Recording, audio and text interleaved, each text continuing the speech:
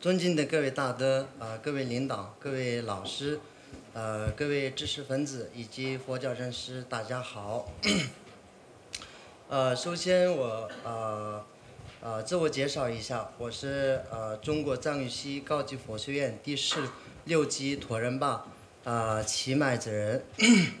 很高兴能有呃这样的机会，呃在座的各位交流佛教文化。呃，那么今天呃，我要跟大家啊、交流的是藏传佛教的历史，呃，题目叫啊、藏传佛教概述。呃，藏传佛教的起源呢，大家都知道是印度佛教，不但是藏传佛教，呃，几乎呃所有的佛教的起源，呃，从印度佛教。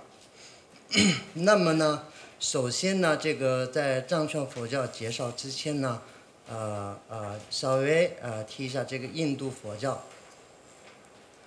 呃，印度佛教呢有两千，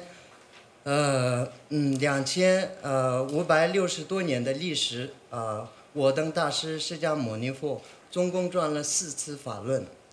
呃，分别是呃初说四谛法论、苦地、寂谛。呃，灭地、道地，中说五相法论，呃，轮回、涅槃，一切法自为空，也就是呃呃自空中观的见解。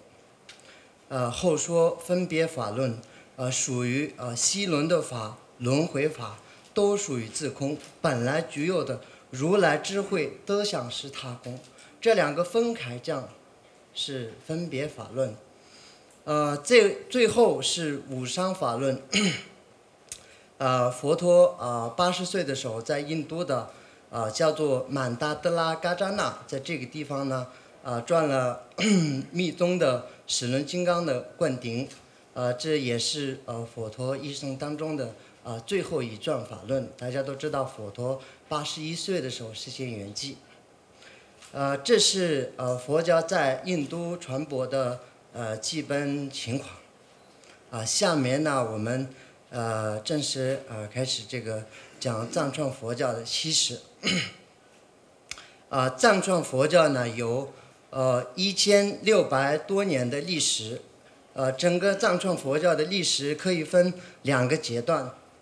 呃，前弘期跟后弘期。呃，吐蕃王朝的最后一代，呃，朗达玛灭。朗达叫做朗达吗，他灭过一次佛法，呃，在他灭佛之前叫做前弘期，在他灭佛之后为后弘期。呃，前弘期呃是吐蕃王朝的前弘期的吐蕃王朝第一代到第二十六代之间呢啊跟佛法呢没有什么关系啊也没有接触过佛法，呃从吐蕃王朝的。呃，第二十七代吐蕃长部，呃，叫拉托托的年赞啊，呃，他的事迹呢有班智达罗僧措和义师利提斯，啊，是呃两位呃印度的僧人啊，带着诸佛菩萨的明常经、宝洁经要、小金塔等入藏。呃，但是当时佛法未能在藏地传播，所以将这些佛经呃供给了当时的国王。啊，这就是啊，藏地对佛教最早的接触。呃，那么呃，这时候所谓佛教入藏的意思，也就是这些呃两本这个佛经跟这个小金塔，呃呃两位呃印度的僧人呃带来藏区而已。那时候呢，呃没有弘扬佛教的呃思想、见解、修行等理论的东西。呃，就像是呃那个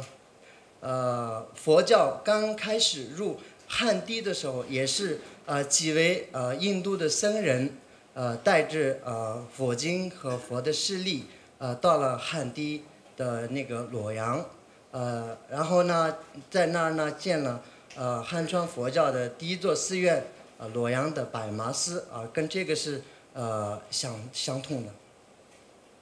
呃，那么呃，正式的弘扬佛法是从呃公元七世纪的吐蕃王朝呃松赞干布时期开始，由大医师托米桑布扎啊发明了现在的这个藏文，呃呃，并翻译了二十一部宪密经典。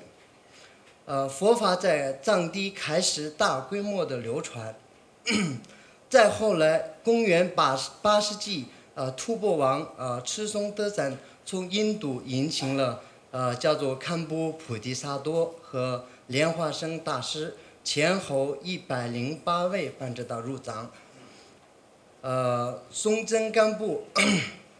呃，赤松德赞和呃这位堪布菩提萨多，还有莲花生大师，呃，他们三位呃也在藏地呢建立了呃一座嗯藏传佛教的第一座寺院，叫做桑耶寺，在拉萨那带，拉萨的机场啊，从拉萨机场到桑耶寺应该是。呃呃，三二三十公里啊，这么个距离。呃，宁玛派前弘期的这个呃五大教派呃之一呃的这个宁玛派，也是在这个时候诞生的。呃，当时呃，在桑耶寺也建了一个庞大的翻译场所。呃，教授培养了大医师比如扎那等一百零八位呃医师，这些大医师们翻译了呃当时在印度十分兴盛的呃这个呃呃经典呃虚部论点，呃当时的翻译也呃极为严格，在这里翻译出来的才能列入藏文的呃大藏经当中。嗯，这时候呃也呃剃度了呃呃于石其人等藏地最早一批僧人，呃从藏传佛教，呃从藏传佛教的呃历史上看，呃桑耶僧呃桑耶寺呃可以看成为呃藏传佛教的呃第一座大佛学大学，而堪布菩提萨多是第一位老师。呃，于十七人是第一批学生，由此开始，直至公元九十公元九世纪吐蕃王呃朗达玛灭佛期间，为藏传佛教的前弘期。呃，朗达玛灭佛，他真正灭佛的时间呢，只有呃三年的时间。呃，但是呃，他当时的这个灭佛的程度啊，这个受到的这个伤害呢比较严重，所以呢，这个六十年当中呢，这个在藏地呢几乎闻不到佛法，啊，尤其是在拉萨一带呢，几乎看不到僧人啊，就这样的闻不到佛法，呃，然后呃，到公元十呃公元十世纪再次弘扬了佛法，啊，在这个时候呢，从印度又引请了。呃，当时在印度的佛教学当中最有名的班智达啊，叫做阿底夏尊者。呃，后来呢，也呃那个时候啊，在那个大医师忍钦桑波等呃很多医师呢，呃翻译了诸多呃经典啊，至今为藏传佛教的呃后弘期。啊，那么下面呢啊讲一下这个藏传佛教的。呃，五大传承或者呃藏传佛教的呃五个宗派，呃，这个呢，嗯，分别是呃第一呃宁玛派，呃意思为九派啊，藏文的宁玛的意思是九的意思，因为此派是啊八世纪中呃中八世纪中叶由呃前弘期的莲花生大师啊所传理，呃因此名为九派。宁玛派是整个藏传佛教的呃基础教派，呃，其余的四个传承为后弘期所传。呃，第二个是呃萨迦派，也称呃道国派，啊，十一世纪呃是由萨迦五祖萨迦的五位祖师啊所传领。第三是噶举派，呃，噶举派的传承人为马尔巴。呃，噶举派和你那个萨迦派属于同一时代。呃，第四觉能派，呃，十三世纪呃由都波巴传临。呃，第五新噶登派也称格鲁派，呃，十四世纪由藏卡巴大师传理。啊，下面嗯，是藏传佛教的特点。呃，我在这里呢，呃，藏传佛教的特点呢，归纳为三个特点来讲。呃，一呃是传承特点，呃，第二呢是文史特点，呃，第三呢是修行特点。呃，这三个特点呢，都是呃呃嗯非常非常的重要，也是在藏传佛教的呃这个呃历史当中呢。呃，这个非常强调、非常注重的啊呃嗯这个呃事情，所以呢，我在这里呢归纳三个特点啊来描述这个藏传佛教。第一，呃，传承特点，无论是呃声闻称或菩萨称、显宗还是密续，各有度化众生的不同方便法门，呃，因此藏传佛教。呃，全面接受并传承了佛陀四转法论的教义。藏传佛教是呃贤密圆融的体系。藏传佛教主张声闻称与菩萨称并修，呃贤密结合，正见与结行并重，尤其是在结性方面，以声闻称的律经为主要依据。呃，藏传佛教，藏传佛教里特别重视。呃，传承，比如说，呃，你要呃修行或者传讲一部法门，呃，首先必须要得到它的传承，呃，若无便不可传法，呃，为了得到啊这样的一步传承呢，也可翻山越岭，不顾艰辛的去求法，呃，以此达成佛教啊传统的呃传承的呃正正正统性。呃，这个呃，以前的这个藏传佛教的历史的这个大德们呢，这个为了得到一个一部传承呢，到这个呃翻山越岭很远很远的地方，然后呢背着自己的行李和有点吃的，然后去那个求法啊，哪怕是一个咒语的传承，也是非常的注重啊，也是非常的重视啊，这个是一个传承的啊。嗯，然后第二是文辞特点，嗯。藏传佛教各派都有系统的文史修行，呃，大孝五明是藏传佛教文化的呃主要组成部分，呃，大五明是指呃工巧命、呃仪放命、生命、仪命、内命，孝五明是指呃修辞学、辞藻学、呃韵律学、呃戏剧学、历算学，呃，一共有十门学科，呃。在藏传佛教的寺院里，主要闻思的是呃大五明呃里的呃内命呃五部大论和四密续部，也呃也有人在学习呃修辞学啊，然后辞藻学、离算学等等啊小五明，呃明是这里的明是学科的意思，也就是说藏传佛教呢主要有这样的大小无明。呃，有十门学科。呃，五部大论是指呃因明论、中观论、般若论、居士论啊、节律论。呃，在五部大论里面，呃，这个呃般若和空心，呃呃是佛教最有特色的观点。啊，为什么说佛教呃最有特色的观点呢？嗯，因为呃，当时在印度的所有宗教啊，都呃认为是呃有我的存在，承认我的存在，啊，承认我的存在。所以在那个时候，佛教呢退出了这样一个无我啊、空心啊这么一个呃观点，啊，推翻了这个所有的这个呃呃。嗯，长久跟跟这个呃这个呃实有实在呃这些啊这个观点啊，所以这个呃呃这个呃空心呃跟这个呃呃般若智慧呢，是藏传佛教里呃最有啊特色的呃最有特色的这个呃论点，也是说最有特色的观点。呃，虽然那个当时印度的很多宗教也承认因果啊和前世后世，呃，或者是这个呃粗糙的这个呃呃无常的变化是成人的，外在的世界是可以变的啊，这个啊，比如说呃，任何东西除了这个自我是不断的延续的，它是不变的，有一个这样的长久感，嗯，有一个这样的长久感。比如说我啊，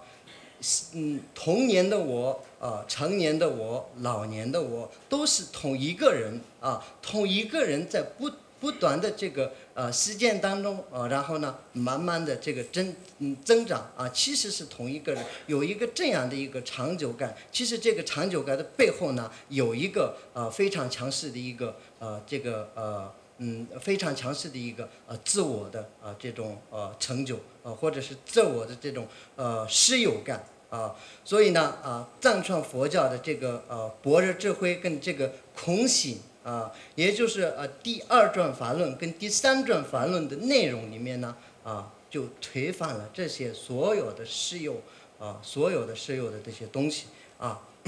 所以这两个是呃最有特最有特征的啊，最有特色的啊两个观点，就呃下面啊，这有两个观点。然后在呃藏传佛教呃藏传佛教中，将般若和空心啊这两个呢来也是来分开来学习。五部大论里中观啊中观论主要讲的是呃般这个呃空心方面，而呃般若论主要讲的是正悟空心的啊智慧啊般若智慧方面。呃嗯结律论和居士论也是。呃，各派必学的教材，尤其是啊结律论，呃，很多藏传佛教的佛学院里，呃，派在五部大论的自收去学习。为什么呢？因为僧侣的呃这个呃结律、结律和行为规则，呃，要以结律论为标准，所以啊，派在五部大论的自收去学习。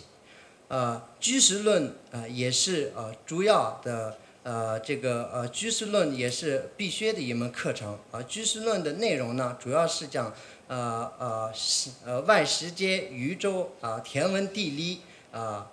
呃，居士论也可以说是藏传佛教的世界观啊，在里面呢讲了很多的这个佛教的世界的呃观点。呃呃，藏传佛教的世界观也是藏传佛教里必学的一门课程。啊，还有因明论啊，因明论的话主要讲逻辑学，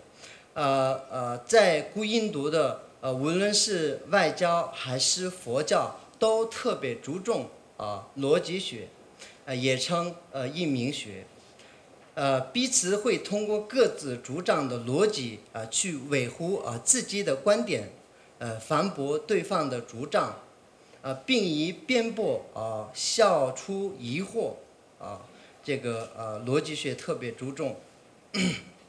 呃，藏传以前这个在印度的那兰陀寺的这个半智大门跟这个其他教派的呃学者之间呢，也有呃这个呃嗯这个展开辩经的这个法会，或者是展开辩经啊啊，然后有这样的呃也会有很很多这样的呃故事。呃，藏传佛教各派都有呃各派的呃诸多呃著论者啊所著的啊中观论啊般若论等五部大论以及四密须部的呃论史，非常多啊这样的论史。呃，藏传佛教不仅全面啊继承印印度先密佛法，而且更加注重文思修行。呃，因此，呃，在藏地，呃，翻译并传承了甘珠尔和丹珠尔，在呃呃嗯，丹珠尔在呃后弘期，呃众多呃论者对文思也做出了更大的改革和发展，呃，建立了藏传佛教独特的文思和辩论方式，呃，学习制度和呃学习呃职位和学位制度。呃，也呃嗯，逐渐逐步完善。呃，按照藏传佛教的传统来讲呢，呃，先学五部大论，然后后学四密续部。呃，啊，四序密法啊的传承是藏传佛教里呃最个嗯最高的法，呃，也是呃藏传佛从藏呃藏传佛教从印度呃传承至今啊，并无有。呃，熟漏的独特法门，呃，一个僧侣呃，如果要学习藏传佛教的五部大论和呃四密续部的话，一般需要一八啊呃一八年到二十年的时间啊，这个是呃嗯每个寺院的情况不是啊呃特别呃不相同的，但是大概啊需要这个呃。这个呃这样的时间，但这个只是呃学业毕业还没有到这个堪布啊，或者是这个呃呃格西啊，就是这这这啊这个这个呢堪布格西呢还要这个再往下啊往下呢学习还要再考。呃，这下面呢是呃第三啊修行特点啊。呃藏传佛教有外修声闻称啊，内修菩萨称，呃，密修金刚称直说，呃，意思是外在以受持别解脱戒的呃小乘僧侣心相，内修呃大乘菩提心和慈悲心，而最终呃见解与了知需要通过正德无上瑜伽部来断除一切烦恼。呃，那么呃，藏传佛教的呃主要修行啊是呃四呃是密乘呃四虚部，呃是呃是虚部，这个分别是呃是虚部、呃行虚部、瑜伽部和无上瑜伽部。呃，其中的呃前三者呃属于呃下密，呃也称外密，呃后者属于无上密。也称呃呃内密，呃藏传佛教的外密和汉传佛教里讲的啊唐密啊，这个唐密是呃应该是唐朝的时候翻译的，所以叫唐密，呃基本一样，啊后来汉传汉传佛教的唐密呃从汉地呃传到日本啊叫做东密啊这个外密呃唐密东密这三个呃呃密法呢。呃，基本上是一样的。呃，内密呃，现在只有藏传佛教有它的呃圆满传承，呃传承。呃，藏传佛教的无上密和下三密之间有以下不同的特点。啊，这个有三种不同的特点。然后呃，这个呃不同特点呢，呃，第一是无上密呃具有完备。呃的理论和修持的呃体系，呃呃这个在下三密中呢，则无啊没有这样的完整的一个啊啊修行呃跟这个体系。呃，第二无上密中有大成就的修炼，呃也就是寄生成佛的修炼大法，啊但是在下三密中呃只有。呃，一般的成就，呃，没有积身成佛的这个礼法和修法，呃，如呃下三密中，呃，只有有相瑜瑜伽和无相瑜伽法，呃，没有生成和圆满而次第呃修法，啊，也可以这么说。呃，三呃无上呃密中有呃人体和呃呃七世界呃。的这个生灭规律，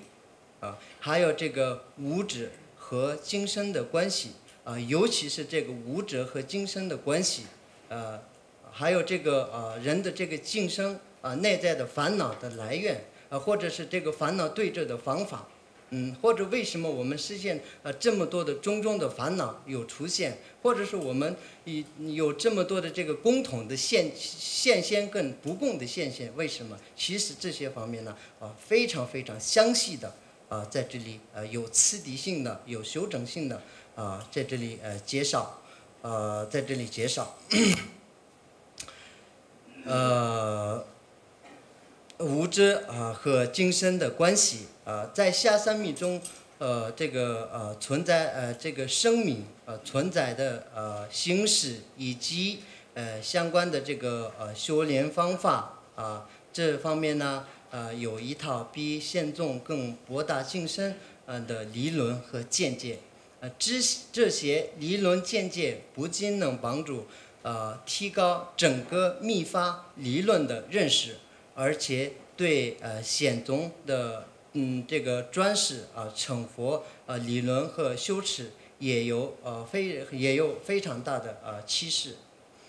呃，显宗的立法是呃大乘佛法的基础，无上密法是大乘佛法的定风。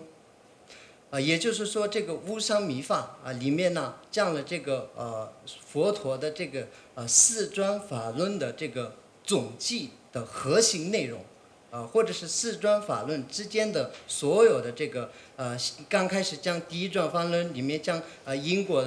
因果跟这个呃种种的这个存在啊种种的存在，然后第二转法论里面讲这个呃呃所有的这个法呢都是为空啊都是为空这样的一个空性的观念啊，第三转法论呢来解释这个。存在与空之间的这个矛盾，或者是之间的呃，很多人不理解。一开始讲这个啊，因果存在啊，这个很多呃外事外物都是存在的，然后陈述因果的规律啊。然后呢，第二段反论里面呢讲这个啊空心啊，然后这个之间的这个呃呃关系缘起，哎，然后第第三段反论里面呢。啊，这个呃比较详细的讲，也是也有透露很多的这个呃呃密宗的这个啊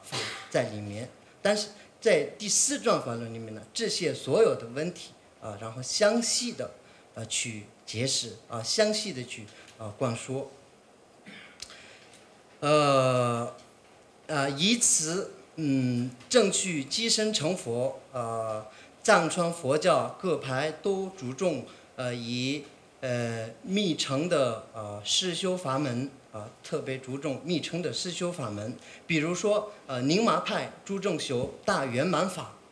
啊，萨迦派注重修呃道果法，噶举派注重修大受印法，格鲁派注重修呃大中观法等。嗯，好，呃，结束了。呃，这个嗯，漫长的呃。历史长河当中，啊，藏传佛教呢经历过盛衰融合，但如今，呃，以五大传承的形式来传播藏地为主的为主的，呃，世界上八十多个国家。呃，在这以上呢，简单的跟各位呃介绍了藏传佛教的历史结构、传承、啊思想、呃以及修学次第。呃，因为时间的原因呢，我就讲到这里，感谢大家。阿弥陀佛。